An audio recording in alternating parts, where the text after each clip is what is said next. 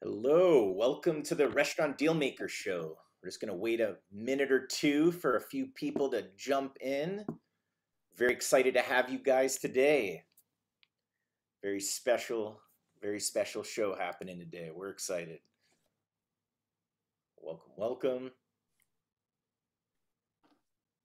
Watching people drop in. Hope you guys all have your coffee. Hopefully, you have your Zim's burger already ordered coming via Postmates or DoorDash. If not, there's a reason why you can't. I apologize about that. I'm so sorry.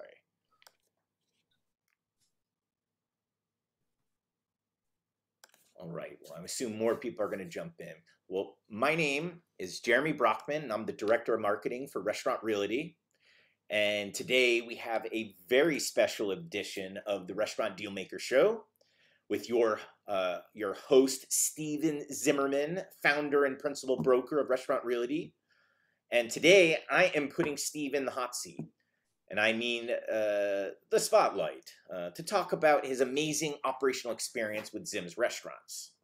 Now, for those of you that don't know, Zim's was the largest non franchise restaurant chain in San Francisco for nearly 50 years. That was from 1947 through 1995.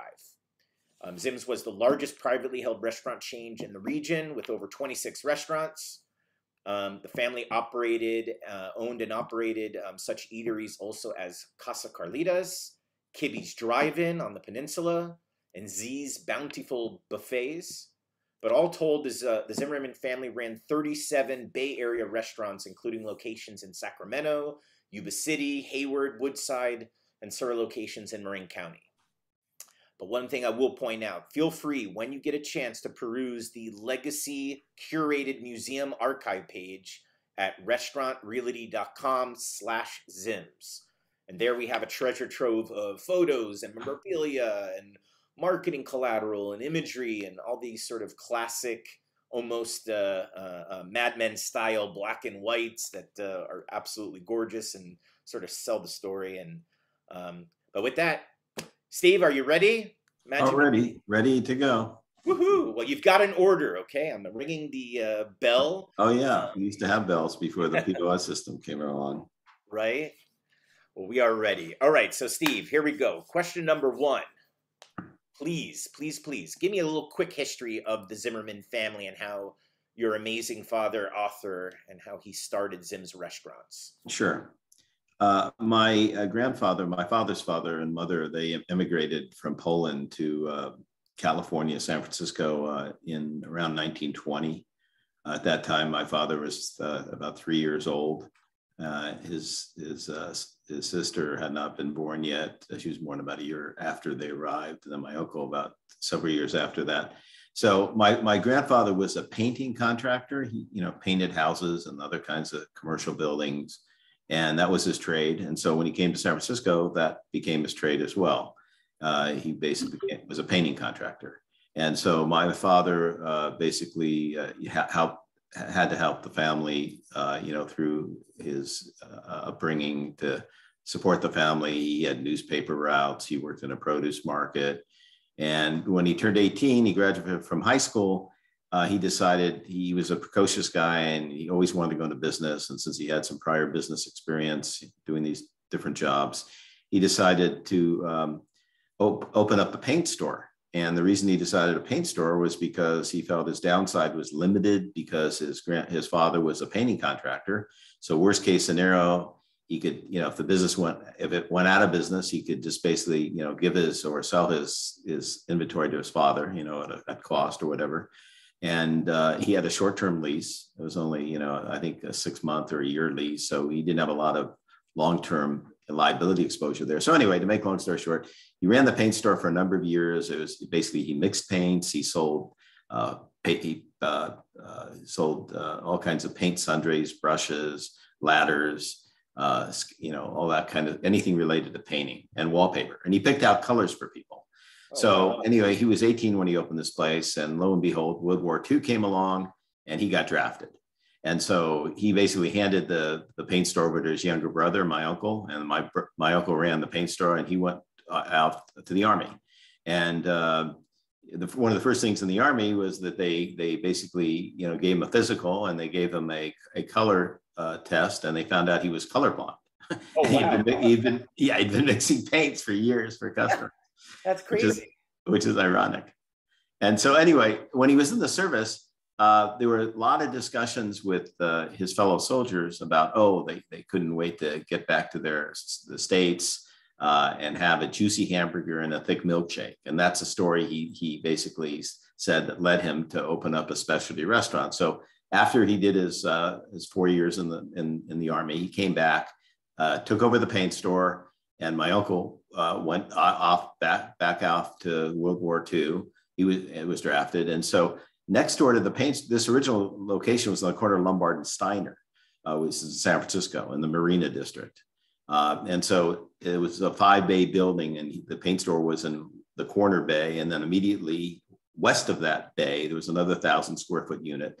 And he opened up a 22 seat uh, restaurant, uh, all, all counter restaurant, and especially made broiler uh, that he would basically broil the hamburgers in so they wouldn't be saturated on a flat grill and sit in the grease. So he had a specially designed broiler made. always served was hamburgers, um, uh, hot apple pie, the special apple pie made by a local bakery, uh, and milkshakes and beverages. And that was it. Nothing else on the menu.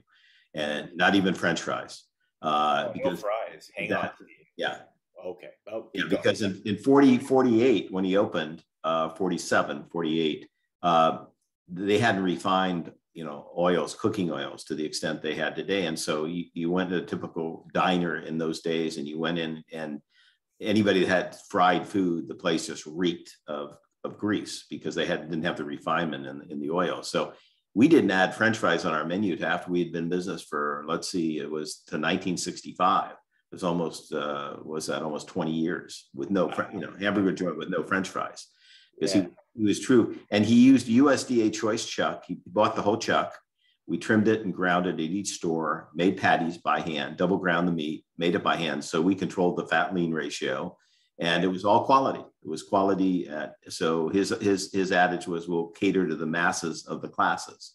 Uh, and uh, it was very successful. Um, there were lines to get in the place. And then that basically began his, uh, his, his chain, you know, developing multiple locations uh, as I mentioned, in 65, we added added uh, French fries. We, we, added breakfast because we went into a hotel location, the exterior of a hotel. The hotel wanted us to serve breakfast. And then we extended our hours 24 hours. So over the years, we, we went from a specialty, you know, hamburger operation to a more diversified diner menu. You know, we had assortment of sandwiches, salads, you know, had some light dinner items. And a good percent of our stores were 24 hours. Wow, that's amazing. I still have a lot more to ask about paint, but you know what? We're gonna we're gonna continue down this thread. So I'm gonna pull on a few threads. So well, just out of curiosity, when did you first get involved in this business, and what what did you jump? Yeah, good question. You know, Dad used to drag me into the restaurants when I was seven, eight years old. You know, with him on the weekend. Um, to I guess he had to do some you know business with his managers, etc. Uh, and so, he, you know, while he was doing his business, he'd say, uh, you know, son, go go in the back of the kitchen, help the cooks. And so, what I would do is I would double grind meat. I would make patties. I would cut apple pies. You know, he had a apple pie cutter. Uh, I would. You know, they they taught me how to make milkshakes and floats, and so I got my first taste when I was you know seven eight years old, going into the restaurants. Nice. And and then, uh, you know, he uh, always wanted me to come into the business. And since I was the oldest and a son, uh, and uh, so when I when I turned 13, I was in Boy Scouts, and um, I wanted to go to a jamboree, which is like an international camping trip. And the cost was, you know, a couple hundred dollars. I, I approached my father. I said, "Gee, Dad, I'd really like to go to this jamboree. It's a couple hundred dollars." He says, "Well, you know, I think it'd be a good idea if you earn the money yourself." So I said, "Well, where am classic I going to be? Dad move. Classic dad move, right? Huh? Oh, I said classic dad move, right? You yeah, got to earn it. Yeah. Well, it was this is a real orchestration because what what what happened was my cousin, his first cousin, uh, uh, David, owned a gas station, and and in San Francisco, and so he had prearranged with my cousin to have me work there like on you know part-time uh, on on the weekends during summertime so i could make some money and unbeknownst to me until after i'd worked there for a number of years a couple of years that my father was paying my cousin to pay me. And and his and his ploy was so that when i turned 15 because supposedly you had to be 15 in san francisco to get a work permit which i don't think was really applicable if your parents own the business. But anyway that was the story he told me. And so on my 15th birthday, I started working at Zim's on, a, on Saturdays as a dishwasher. And I and, and I did appreciate I went from axle grease to kitchen grease. And I did because in the in the dish in the in the in, in the gas station, I was cleaning lube rooms, which is real dirty work. I was pumping gas and it was it, was a real pleasure going from that environment into a restaurant even if i had to clean toilets and, and wash dishes had a roof yeah. over my head. I got to eat what I wanted to eat when I wanted to eat. I was a lot of interaction with employees and customers, and it was like a fun, you know, compared to what I had done. And so started washing dishes, did that for about a year. Then I started cooking. And through most of my high school years, again, during weekends, holidays, part-time during the summers, I worked, you know, through my high school years cooking. So I, I, I developed a pretty good expertise in, you know, fry cooking. Um, well, just a quick aside. I mean, were you yeah. the hero at your local high school based on the fact that here you had this job in a family business and there was this chains? Like, was it were you well received because you were in this uh, family business, or was it? Uh... Well, you know, I, when you're working a family business, you're always the owner's kid, you know, and so consequently, in order to have credibility, I would have to, you know, work harder than anyone, you know, work longer and harder. At that time that was the attitude. Now i've learned you know working long and hard doesn't necessarily make you successful it uh, you got to work smart but anyway in that day, the day and age you know it was like restaurants you know you worked all the time um, and so um, yeah I, I, think i was pretty well respected i mean i'm sure you know because i worked hard and and they they appreciated the fact that i i started you know from the bottom and worked my way up i just wasn't handed the golden key and you know your son take over as president CEO. It wasn't that way at all. Yeah. So, so anyway, um, I, I did that through high school. And then after a couple college degrees and a stint in the service, I had to be in the service for uh, about two years. I got activated during the USS Pueblo situation. I was in the Air Force Reserve and I was in an oh, air wow. transport unit at Hamilton Air Force Base. So I ended up being in uh, in in food service, and so I had two years of cooking experience in the military, which was a, an interesting experience because they have very high standards in the Air Force. And so I learned a different perspective of institutional cooking uh, in my stint in the Air Force. And then uh, after my two years in the Air Force, went back to college, got a degree, then got a second degree. And then I, after, after graduating from Cornell Hotel School, I came into the family business. I started as a manager trainee um, and uh, then I became an assistant manager, uh, then a manager, and then I opened, uh, uh, was opening manager for probably a half a dozen different units where I opened new restaurants. You know, oversaw, you know, hiring the staff, hiring the management staff, overseeing the training, you know, implementing the whole uh, operation, and then ma- managing some of those stores for a period of time and then uh, I became an area manager uh, where I oversaw four or five units. You know, I had managers underneath me, and uh, and then worked my way up, became vice president, um, and then uh, eventually president and CEO of the company, and held that position for a number of years.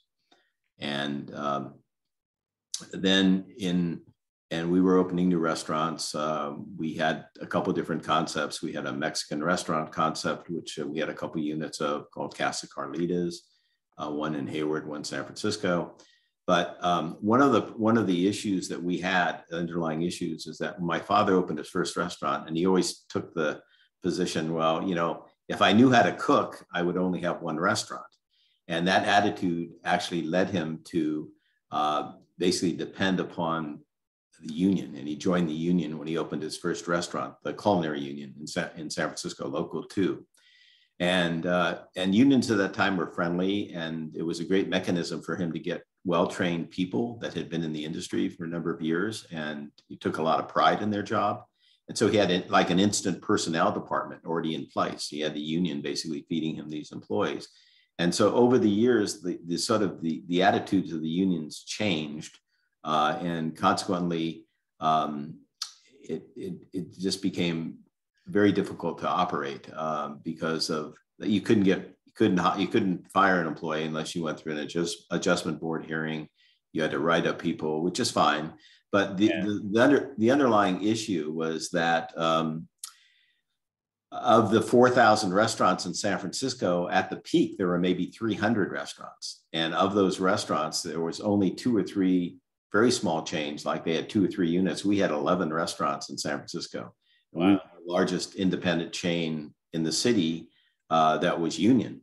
And the smaller operators, they could they could basically finesse dealing with the union stringent requirements, um, uh, like you know short shift premiums and uh, you know excess um, overtime, et cetera, because they they were the owners working those units themselves. But for us as a chain, we didn't have that latitude. So the bottom line is our labor costs really got out of control. They were about a third higher than our competitors, and it was difficult to compete. Um, and so um, we basically, uh, you know, ended up having a strike um, you know, and uh, which culminated in really unwinding our business um, and led to the demise of our business. We lost the strike, um, you know, and that was in the 80s. And so consequently, that's how sort of how Zim sort of unwound. Yeah. Uh, fortunately. Listen, it's a, it's, listen, there's, to every great Google story, which I believe you were an early Google for Silicon Valley and San Francisco there's obviously external factors, but let's let's switch gears for a second because I sure. want to focus on uh, on how Zim's you know zimmed away, but rather let's you know the things that celebrated here.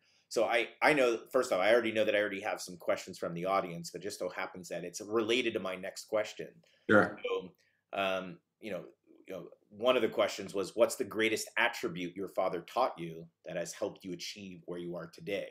Yeah. I was curious to learn about. Sure yeah like yeah I, I think there are definitely some some major things i learned from my father uh, one of the major things is that the busiest people have the most time to get the most things done and uh, i think without a doubt you know he he lived up to that you know not only being involved in restaurants he was very active in in real estate.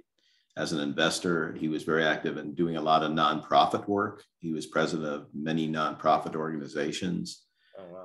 um, he, he was he was very active in you know all, a lot of other things other than just the restaurant business. And and I think his involvement you know sort of underlines his adage that the busiest people have the most time to get the most things done. And he was also a, a, strong proponent of and the reason his motivation for getting involved and which led a good example for me as i in fact last two years i've been president of a major nonprofit lending institution um, was the fact that he, he, he basically instilled in me the principle that, um, you know, you really need to give back to the community and you get, need to give, uh, you know, you give, when you give back to the community, you actually, you know, you're, you're, you're doing a service, but you're in a lot of cases, you're, you end up getting more than you give back. I mean, you know, yeah, just satisfaction, helping people less fortunate than you. Um, and so that was a, a, big message that he, he got out to me. Um, and uh, another thing is that you don't compromise price for quality. He was always very quality oriented. And if it's, you know, the, the price, in order to maintain the quality and maintain the portion control rather than to, you know, screw around with, you know, diminishing the quality, yeah. you know, raise the price and to maintain that quality level. And so that was a very important point. You know, don't compromise price for quality. Um, and then another important point is that the customer is always right.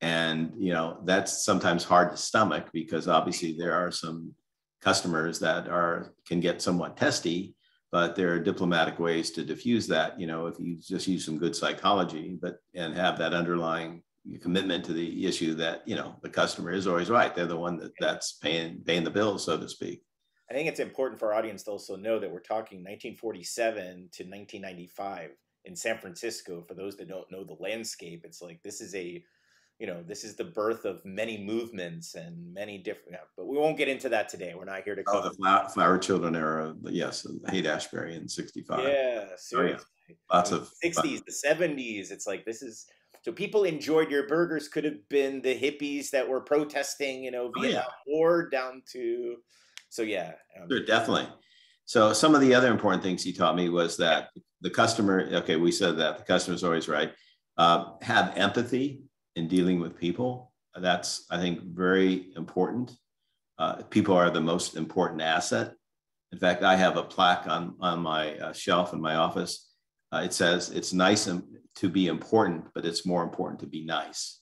nice. And I, and that was instilled with me. He had, he had a strong policy that everybody in the company, no matter whether it was the lowest dishwasher, janitor, called him Art. He did not want to be called Mr. Zimmerman everyone called him, you know, art. You know, we had holiday parties every year, you know, everyone come up to him, you know, hi art, you know, and that's what he insisted upon. And and and that's that sort of that that trickled down to my mindset as well. You know, it's yeah. just it's it's, it's more important to be nice than to be important. You know, yeah. and people are really the most important asset in in any organization. And so those are some of the key things that I've learned from my father. Oh, that's awesome. I mean, I appreciate that. And again, you know, I'm keeping focus, but I'm going to have a lot of follow up questions for you in terms of. Uh, we still have to get back a little bit into your Air Force because you basically were Top Gun. You were basically catering for Top Gun people. But anyway, we'll we'll come back to that. Uh, give me um, can you share an example of a maybe like a really successful moment while you were managing Zim, something that kind of sparks a, a little yeah. light of joy in you? Yeah, well, I think that uh, definitely when we opened a new restaurant, uh, and I was involved in the training and the hiring uh, in a lot of the new restaurants we opened um, when I came onto the scene full time. Uh, it was great to see the whole operation come together. Uh, you know, and after a couple dry runs, you know, before we opened to the public, we had, you know, in, invited vendors and you know special guests, had some nonprofit events, so we could get, you know, work out all the bugs of, of the of the operations, you know, the service procedures, the cooking procedures, all the nuances before we open the doors to the public. But when we ultimately opened up the doors to the public and we started to get busy and we started to, you know, consistently, uh, you know, get good quality product out with, you know, good service level and a clean environment, that was very gratifying, very satisfying, seeing us be able to create, you know, in a lot of cases, we took over restaurants that failed uh, in some cases, we took over this one restaurant. There were like 11 restaurants before we came, and we had a 25 year run in that this location. And that was true in many of our locations. We took over, this, this is the wrong concept or, or poorly operated. And because we had a, a well tuned machine, uh, you know, we were able to basically convert unsuccessful locations into successful operations. And so that was very gratifying to see the success. Yeah. Um, and another really uh, particularly gratifying time was we we decided we opened the Zims in Hayward, um, and it was the first time we really went to blue collar area. And, and at, at that point, I think our just our pricing and our quality level was just a little ahead of what the market was really looking for there. So consequently, it was a marginal location, but next door was a big, foremost uh, 7,500 square foot Smuggler's Inn and my father got this idea, oh, let's let's do a dinner house concept. And I we questioned a little bit because again, it was a blue collar area, so we call it arts, uh, good food and high spirits. And it was a disaster. It was the reason we we bought we bought this restaurant was because Smugglers Inn. It had a heavy disco discos were really big then. So about 50, 60% of their business was disco business. So it was very profitable. So we we emulated the disco uh, co- uh, format as part of our food concept. We improved the food, but had the disco, but we never got a shot to really get the restaurant up and running because the disco image overwhelmed the the, the food image. Uh, we were known as a disco and not as a food place. So bottom line, didn't work. Uh, and I met this this gentleman that had success running Mexican restaurants, and I said, "Hey, could we do a management contract to you? And we think we have a good location for a Mexican restaurant." And he basically came up with this Casa Carlitas concept, and it was very successful. It turned around the restaurant, and we had a run for about 10 years.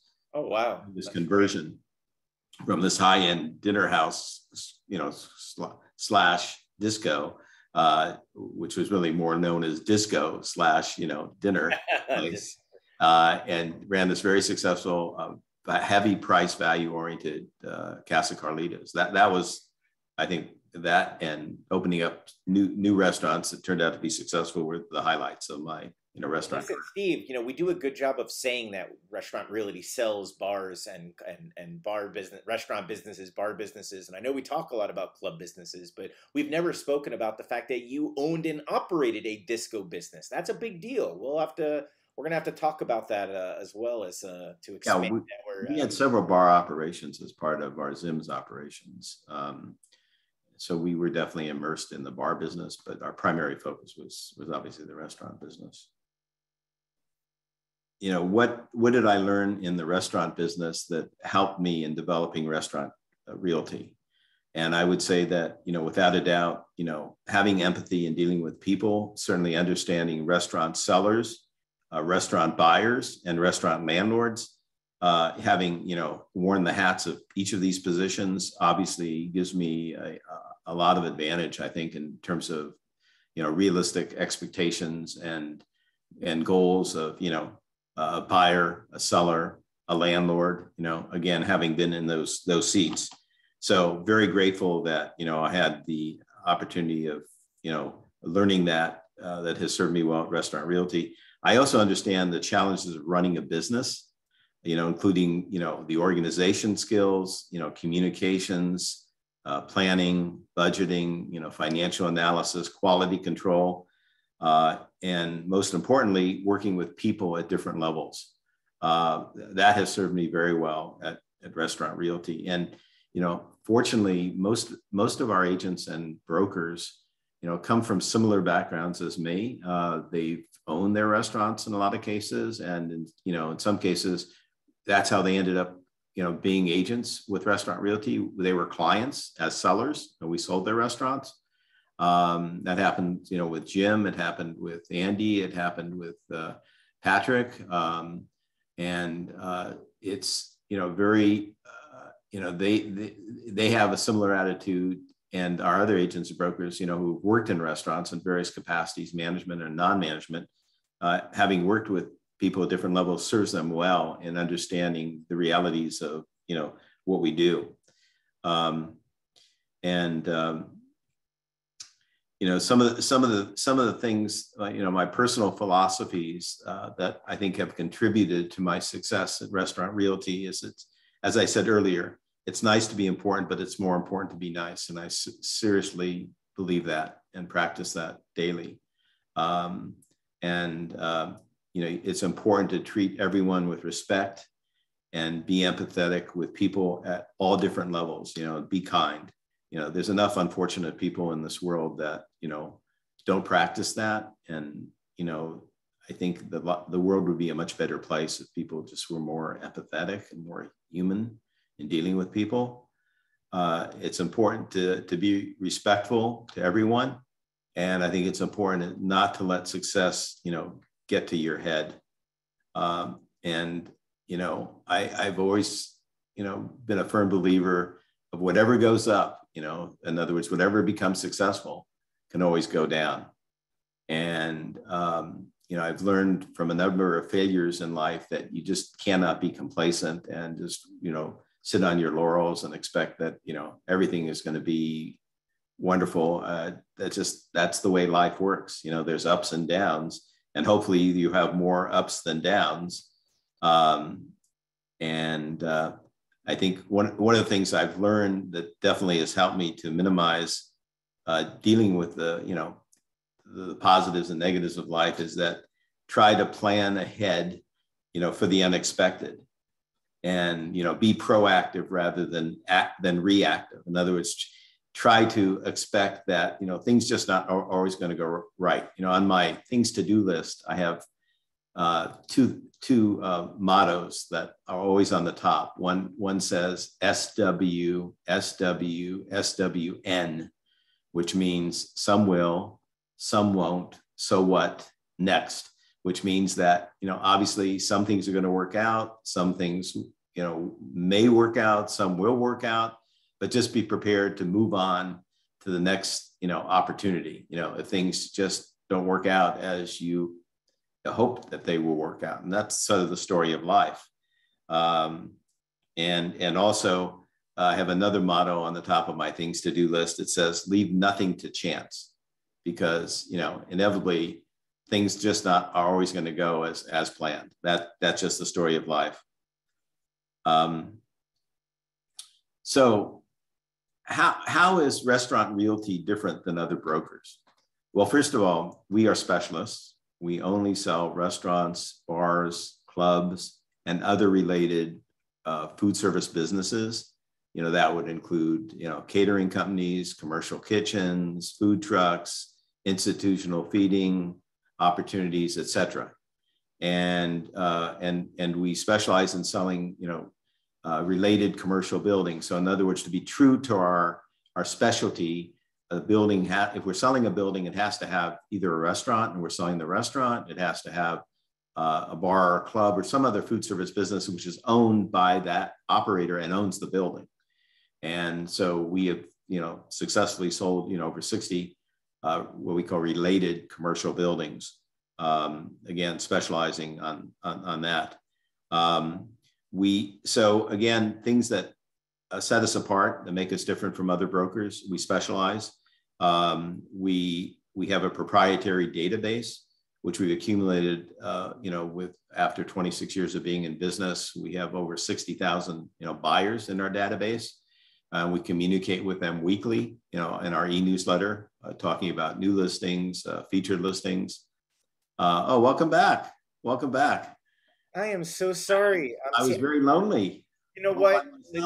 Listen, you told me that there were no French fries for the first couple of years. Oh, you went out for an order of fries. Ah. And and um, Spectrum, uh, otherwise you know formerly known as Time Warner, decided just to shut off all the cable in the area. So we're oh, it's really? not just me um, about I don't know ten thousand homes just turned off accidentally for the last eight minutes. So oh my goodness! Thank you all for not panicking, and I'm hoping that you danced in the moment, Steve. I saw you froze, and so I started talking. I'm like, oh, you know what? No worry, Steve. You know when you unfreeze, not knowing that it was me that fr- you do not listen at Zim's. We do never you never serve frozen meat. It was I remember that you said that you bought the chuck yourselves, you all cooked it, you made your own things. Yeah. So yeah, in fact, uh, you know, when you're talking, going back to the Zims thing again, a few interesting tidbits. My father supposedly said he invented the sesame bun, which I don't believe, but supposedly they didn't have buns with sesame seeds, you know, in 1947. So there was a local baker, uh, and uh, it was a commercial baker. So he went to him and, and said, Hey, uh, is there some way you can get a sesame seed on the bun? And so supposedly, you know, again, I think that's a lot of hype, but he, that's that's what he maintains. Uh, and um, and also another another list, list another adage about Zims. Um, we we trained our food service. We only had one dessert. It was apple pie, you know, for many years. And so we had the special apple pie with the cinnamon sauce. And so the customer could have it with or without the the apple pie was always heated.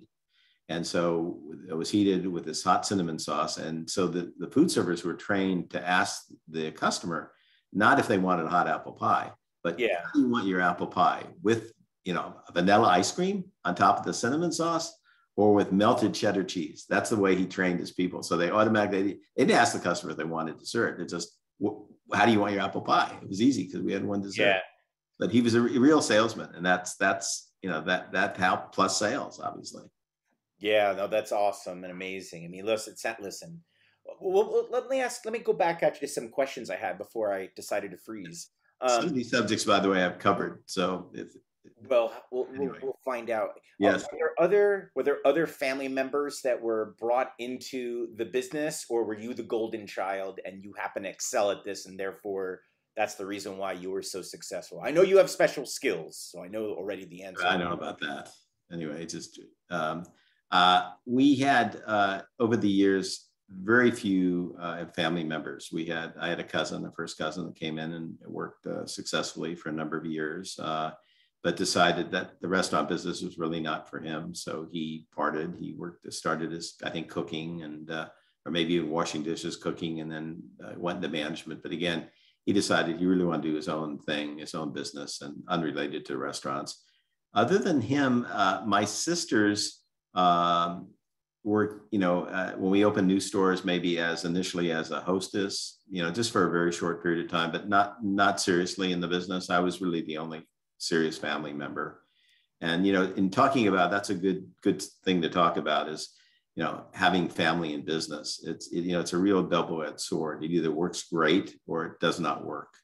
And the reason it worked well with between me and my father was because uh, you know my father knew I had learned all the different you know aspects of the business before I you know became the hotshot of the company. I had to work my way up, um, and in addition to that, I had to work hard. You know, I worked. You know, was in those days, 70, 80 hour weeks was common. You know, working in the restaurant business, and that's what we did, and I did. Now, did it help that he knew you were smarter than him because you were in the Air Force and he was only a GI? And did that affect things? Uh, well, he was enlisted and I was enlisted, so we were, you know, we were at the same level. Yeah. Got it. Okay. Yeah. yeah but um, so uh, anyway, uh, and he had a lot of other interests, you know, real estate, non uh, community work, nonprofit work, and so. Um, you know, we very rarely had any conflicts. You know, uh, he would be brought in, obviously, before we signed a lease on a new location, he would have to sign off on that. If we were making major concept changes, you know, design changes in the restaurant, uh, making me- menu changes. You know, before we did, you know, put new menu items on, you know, he'd be part of a tasting. So he, he was involved in the major areas, but not on the day to day operational side. And so we got along very well.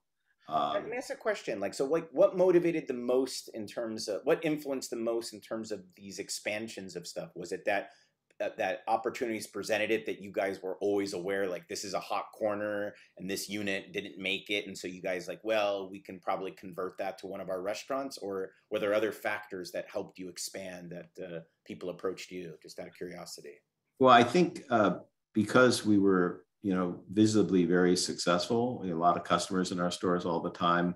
Um, landlords and or brokers would be constantly uh, you know pursuing dad for new new opportunities. Um, and and then there was a certain amount of creativity on his part in finding new locations. Like for example there was a chain uh, called foster's which was like a cafeteria chain. Had been around a long time. I think it started in the 30s or 40s and they ultimately went bankrupt and they had a number of key locations in the city one of which was on the ground floor of a 500 room hotel in downtown San Francisco on the corner of Powell. Powell Street is where the cable cars you know, start. Uh, Powell and Sutter, which is like two blocks from Union Square, which is the heart of downtown San Francisco. They, they went bankrupt, and before they could even open this location, they had signed a lease on this location. Um, my father had learned about it and went to the bankruptcy court and bought the lease in bankruptcy court and we ended up buying the lease. The lease rate was like 50 cents on the dollar. And we ultimately ended up selling that lease after we opened the restaurant and ran it for a number of years. That the owner of the hotel said, Hey, you know, we really want that restaurant. We know you have a below market lease. We'll pay you a big price to buy it back. So he, you know, actually ended up selling that lease for millions of dollars oh, because we were paying 50 cents on the dollar in a prime 5,000 square foot location in downtown. So, so he would do create, you know, he had these creative opportunities that came to him, you know, you know, because they saw that we knew what we were doing and we, but, and and he was very strong on most of our locations were corners. That was very important. Or if we were in line, we were in, in a strategic location. Location was paramount. You had to have, because we we were somewhat we were an impulse oriented you know operation to some extent so people would see us and say, okay, let's go and, you know, go to Zim's. Well, let me ask a question because I think one thing that might be on some people's mind, we have a question about what was competition like? I mean, did did McDonald's and other chains, did other franchises come into the place, or did they see you guys having as a great stronghold that everyone feared coming into San Francisco? What was it like? Yeah, well, that's that's a very good question. Um, actually, you know, most of the chains were afraid to come into San Francisco because of the unions, and they just unions were not part of their mo. And so uh, McDonald's opened their first restaurant in 1965 on Ocean Avenue uh, near City College in San Francisco. And you know they they started unions started picketing them, but when they saw that you know that they weren't getting anywhere, they eliminated the picketing, and so then consequently, uh, that was the really the beginning of the chain, non-union chains. When McDonald's opened that first location in 65, prior to that, there weren't any real major chains in San Francisco of any consequence. And so when other chains saw that McDonald's were opening up units and opening up non-union, that was an, uh, you know, an enticement for some of these other chains yeah. to follow. And then, and so what happened was obviously they had some impact on our business, even though our quality level was, you know, extremely higher. You still basically, you know, they cannibalized our some of our customer base to some extent, and they could their prices were extremely more competitive than ours because they didn't have union labor. You know, in their situations, you know, maybe food cost was 25, 30%, and labor was 15%. So their cost of goods, their prime cost, food and labor, are maybe 45, 50%, where our prime cost, we were running a 25% uh, food cost with a 40% labor cost. So our prime costs were like, you know, 10 to 20% higher, you know, which is where all the profit was. And the reason we could survive as long as we did in the city after, you know, McDonald's opened their first store in 65 is dad had negotiated these long-term leases with below market rents. Our rents were averaging two to 3% of sales, where most people are paying then six to 8%. Now, you know, lucky to pay 10% in the city, but at that time we were paying two or three percent rents. So we had that cushion with the low rent to offset the high operating costs, the high labor costs. Our indirect labor costs were a third higher than our competitors. Yeah. So what happened? That gave us the uh, the lifeline to survive, you know, for X number of years. But then when those leases ended and, and we went to an option, a fair market rent option, our rents went up 25, 30%, we lost that spread. Instead of having two to 3% rents, we were having five to six to 8% rents. And that ate up our cushion from abs- absorbing that extraordinary high labor cost in San Francisco. Well, I know you wrote that great article about landlords are the key, uh, and now you and I now know that you you know that firsthand from this experience. It's a yeah a tough lesson to learn. Very much so. Very much so.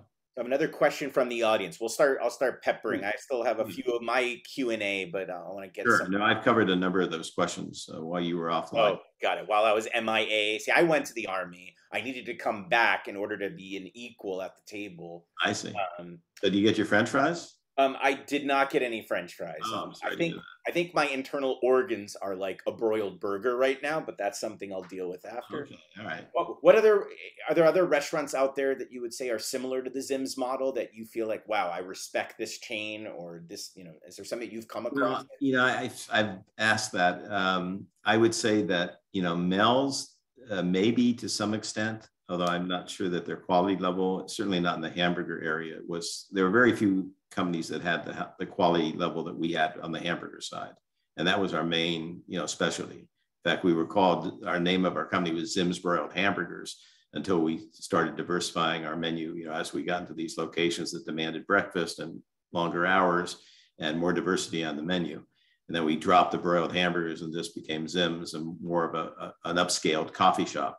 So I would, I, the most analogous uh, concept I can think of is, is the former Hamburger Hamlet chain in, in uh, Los Angeles. They at one time had about a dozen stores. They had really high quality, you know, uh, quick leisure service uh, operations. Um, but, you know, we, we had definitely a unique niche.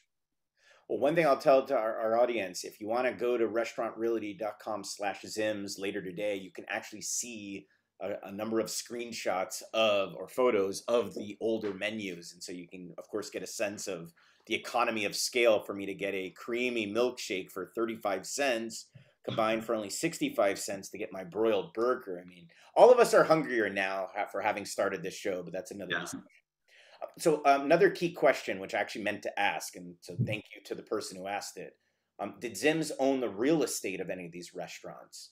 And if not, why? Know, my father was you know, when he was 22 he he learned from his father uh, that you know you, you should earn own real estate. It's just a, it's a good it's a good hedge on inflation. It's a good way to to acquire uh, wealth you know through appreciation. And so when he was 22 years old he bought his first apartment building. And he didn't have any much money at, and leverage at that time was really you know key the key way that a lot of people in the 40s and 50s and 60s made money is that they would get a you know a first loan, second loan, third loan, fourth loan. So he bought his first apartment building when he was 22 with four loans on. You know, very little, very little, uh, you know, equity.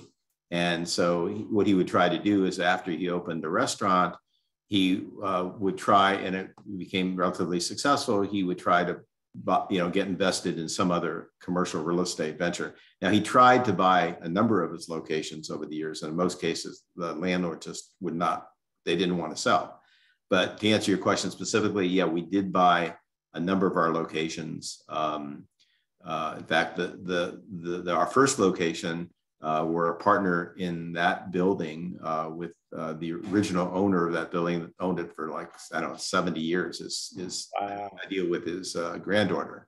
And um, we have a Amici's Pizzeria in there. And then we, we, we, we had, we bought a number of our, our buildings over the years, but uh, uh, by and large, most of our landlords didn't want to sell. You know, they wanted and got uh, it.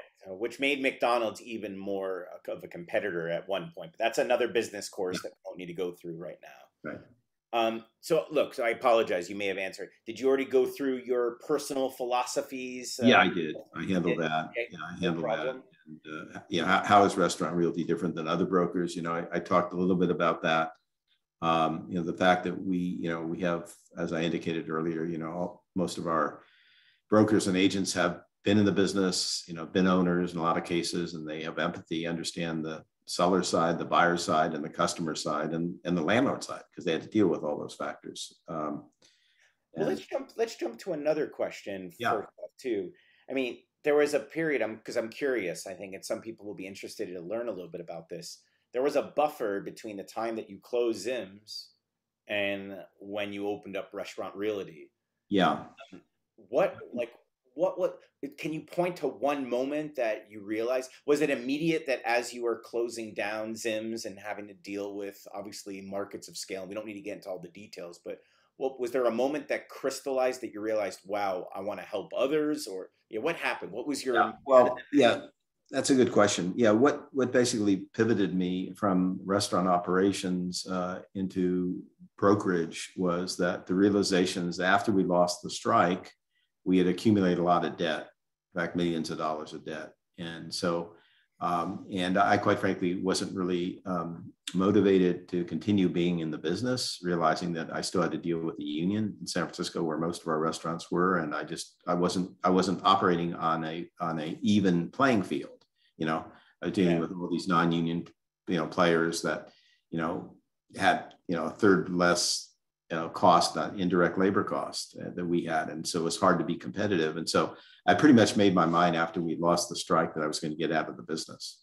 And so I, I for a period of time, I was actually, I, I was became a deep shelter syndicator and I basically um, put together about 14 limited partnerships. Uh, we had about 350 limited partners and we had about a thousand multi-use resident, multi-residential units. So that was a part of the my career where I really learned commercial real estate.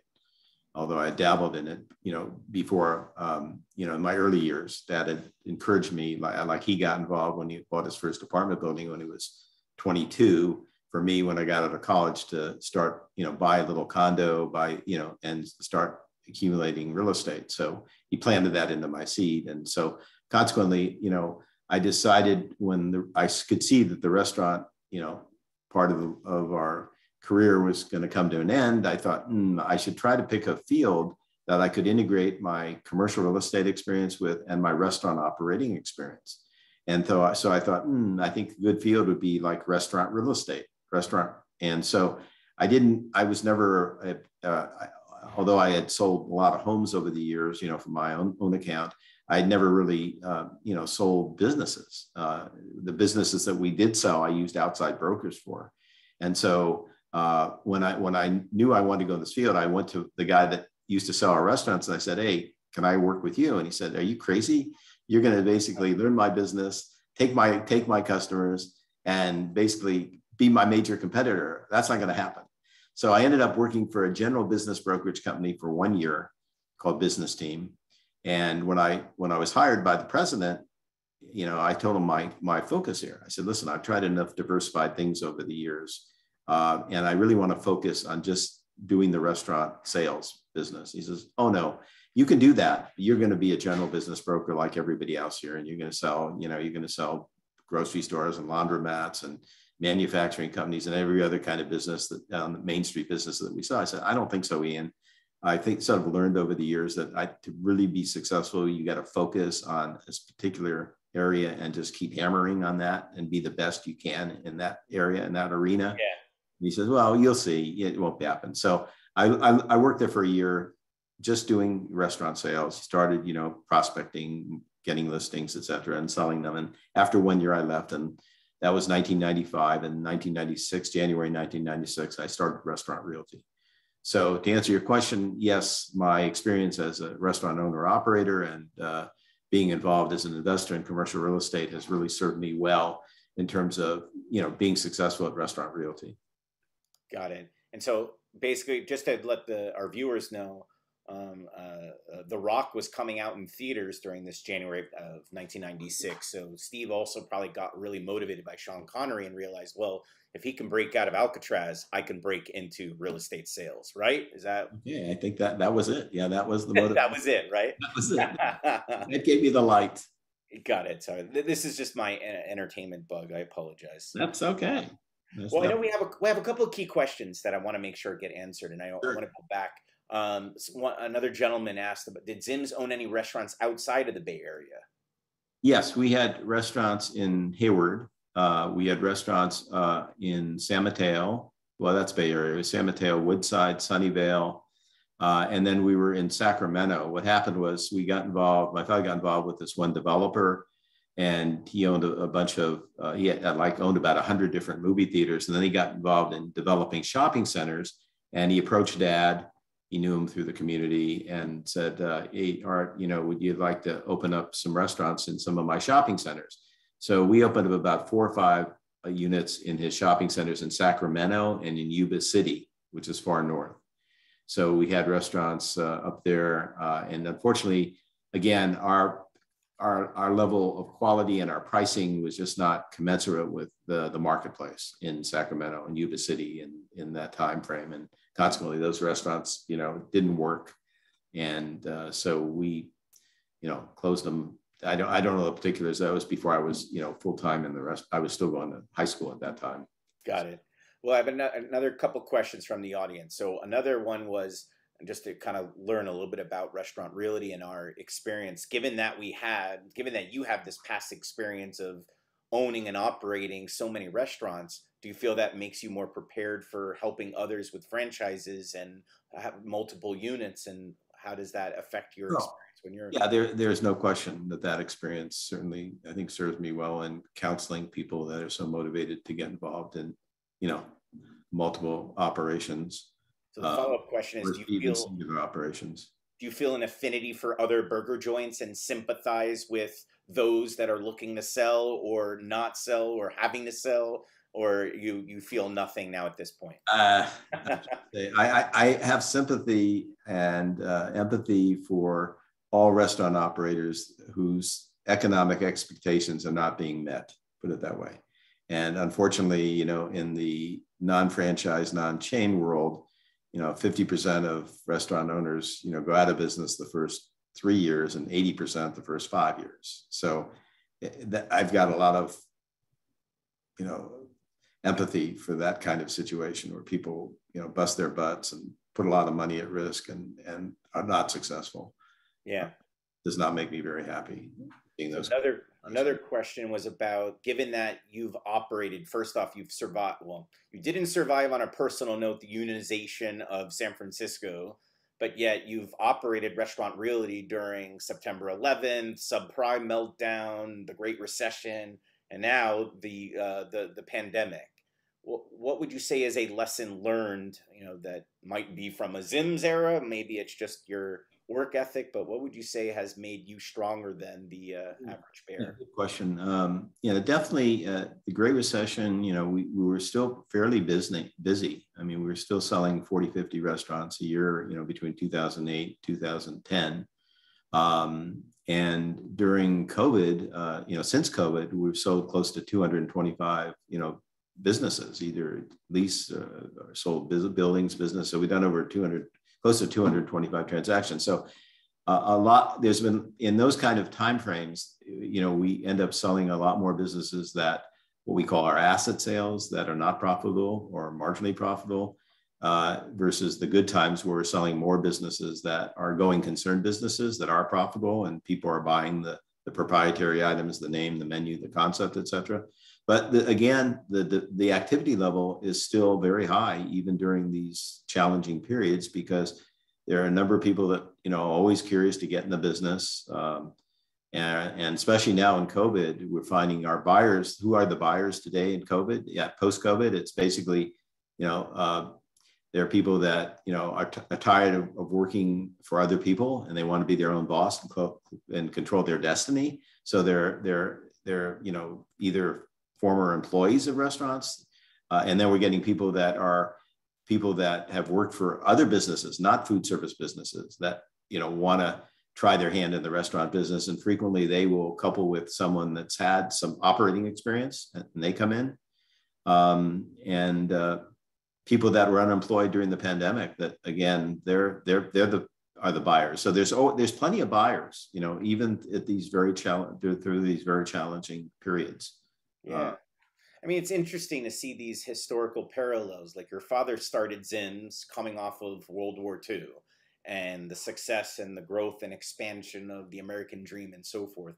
Is there are there other noticeable trends that okay coming off of maybe not even just you know you know the last you know 10 15 years but look you're in San Francisco you're you're uh, close to Silicon Valley are there more venture capitalists that try to get into the restaurant business or are there people who just sort of have happen to have money and want to diversify do you, do you see any patterns of certain types or does it really run a full gamut across the board of the types of buyers that come in? Yeah, I, I, think it runs a full gamut, you know, across the board. I don't think venture capitalists are enticed coming in the restaurant business, especially in California where the margins are are smaller because of the high, uh, you know, operating costs, the high occupancy costs, and food and labor costs, et cetera. So I, I don't see them as being part of the buyer pool. Uh, but they're just, uh, you know, people in general that are enamored with, uh, you know, the food service business. Uh, they think that they can make a living at it. They can, some, some cases, put their family members to work, you know, and they, you don't have to have a lot of, uh, you know, high education, tremendous skill level. You just got to basically work hard and be committed to good service and, you know, consistent food quality and cleanliness levels, et cetera. And so a lot of mom and pops that are enticed to come in the business to make a living and have their family members have a, have a job. Yeah. Now I know today's a, a, unique day. This is probably one of the first times that you've spoken about your Zim's experience and so forth. But um, I, I, imagine that uh, I hope that the demand will come that we will be setting up a university course about the lessons learned from Zim's and the power of broiled burgers over over uh, uh, grilled burgers, and we're gonna have to have another class about that very soon. Sounds like an interesting idea. Are there any parting words um, that you'd like to share with uh, aspiring uh, buyers and or sellers uh, that are listening to today's show and hearing about your Zim's experience and what you might uh, might help them in the future? Sure. Well, I think uh, irrespective of all the challenges today of uh, you know running a successful food service business, there's still a lot of opportunity if you align yourself with the proper uh, level of you know trained individuals that have been in the business that understand you know the importance of good service, uh, consistent food quality, and you know a clean environment. Uh, and you're you know you, you're sensitive to you know having a price value experience for your customer. Uh, there's still plenty of opportunity. You know, people like to eat out, uh, and they're tired of their own cooking. Eating out is a form of entertainment. Uh, and it's a, it's, a, it's a way for people to diversify their, uh, their, their, their palate in terms of different, you know, types of food. So there's a strong market for eating out. And of course, you know, some of the, some of the, the basics have changed. You know, obviously, you know, you know, takeout delivery is, is taking hold and drive through business and, you know, a lot of, uh, you know, creative ways to, eh, to you know, to be served food, not necessarily just in the hard brick and mortars environment. But again, by and large, people want to go to brick and mortars, and consequently, a lot of operators are, you know, reformatting their brick and mortars so they have more outdoor seating, more spacing, and are sensitive to the needs of today's market. Final question, which is a great one. Otherwise, I wouldn't ask it. But do you recommend buyers look to purchase um, high profit restaurants for a high price or an asset sale at a much lower price and build the business to make high profits? Is there? It really depends on the level of expertise of the individual buyer. You know, so it, I just don't have one general response to that. A lot of people feel more comfortable buying a going concern one that's had a long history of making money because they figure the risk factor is less if they can maintain the you know, continuity of the customer flow and the cash flow. If they just you know don't screw it up and run it just as the previous operator did. Uh, so there are a number of people that are attracted to that mo, you know, method of operation, and others they've had a lot of experience and rather than pay a big price, they'd rather, you know, get in there for, you know, 20 or 30 cents on the dollar and do their own thing. And they feel they have the expertise to, to be successful going that route. Well, I know if I'm opening up a restaurant anytime soon, you're the man that I'm going to to ask for advice. So, um, uh, for for anybody who's listening today, um, I hope you all um, you know g- gathered uh, a, a, certain amount of love and affinity for obviously for Zim's if you didn't know about it prior. But for those of you who joined us who wanted to learn all about uh, some of the history, you got a little bit of the behind the scenes of the thought and the leadership and the the man uh, as part of the family behind this wonderful business. Um, thank you all for tolerating my disappearance. Um, and I'm sure Steve danced in the moment just beautifully.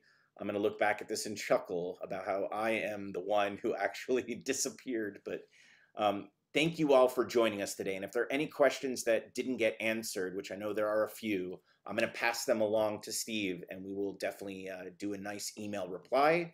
Steve's available at steve, S T E V E, at restaurantrealty.com. Um, of course, you can always come check out restaurantrealty.com uh, slash Zims to learn more about the history.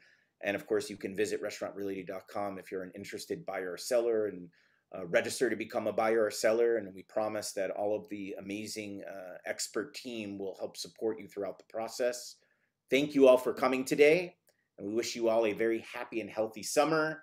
And uh, thank you so much for joining. And thank you, Steve, for. Uh, thank you. Thank you, Jeremy, for doing a wonderful job uh, facilitating this, uh, this activity. And everyone stay healthy. Thank you. All right, guys. Thank you so much. Here. Bye.